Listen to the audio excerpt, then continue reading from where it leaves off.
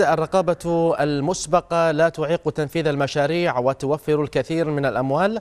وكيل ديوان المحاسبة إسماعيل علي الغانم رفض تحميل الديوان مسؤولية عرقلة المشاريع معتبرا أن الرقابة المسبقة لا تمثل سوى 4% من الدورة المستندية للمشاريع.